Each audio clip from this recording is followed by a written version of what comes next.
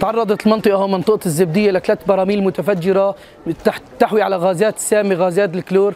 آه، صار حالات إغماء كثير كبيرة هون في المنطقة. نحن أسعفنا المدنيين والأطفال الصغار هون. لا في مقرات ولا في آه، جيش حر ولا في أي شيء. هون كلها مناطق مدنيين آمنين باركين ببيوتهم حسوا بغاز الكلور والعالم. آه، قلت لك حالات اختناق كثير كبيرة في المنطقة ويعني وأنا اليوم حتى طلع صوتي من من الغاز الكلور اللي تعرضنا له.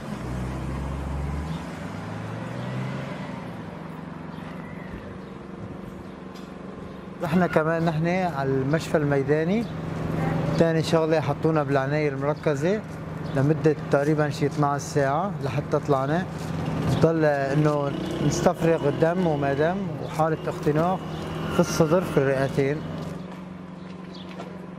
بتاريخ 10 8 2016 الساعة 8 مساء تم استقبال 10 حالات بأحد مشافي ميداني مشفى ميم واحد بمدينة حلب.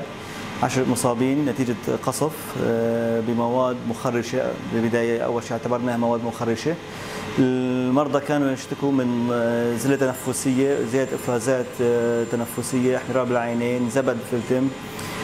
استقبلنا اثنين عشر حالات كانت أربعة من عائلة واحدة الأب وأم وطفلين طفل عمره 12 سنة وطفل عمره خمس سنوات. المرضى كان عندهم تهيج زياده افرازات تنفسية بل آه، زبد من دمهم آه، ضيق نفس شديد نقص شديدة.